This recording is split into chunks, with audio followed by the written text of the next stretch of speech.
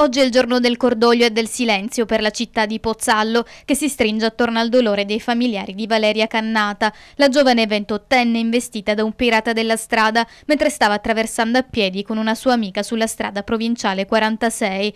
La giunta ha proclamato per oggi il lutto cittadino, un gesto che vuole dimostrare la vicinanza di tutta la comunità Valeria. L'intera città è ancora scossa dalla notizia e tante la rabbia per questa giovane vita spezzata, su una strada che è da anni al centro di polemiche per la mancata messa in sicurezza. A fronte dei tanti locali che negli anni hanno popolato la zona, infatti, niente è stato fatto per regolare i parcheggi o scoraggiare chi percorre a velocità sostenuta quel tratto, sempre più trafficato. Oggi per Valeria l'ultimo saluto in chiesa madre. Dopo il dolore e il silenzio, quello che chiede la città è una cosa sola, giustizia per la giovane, un impegno serio di tutti, perché questi episodi che possono e devono essere evitati non si verifichino più.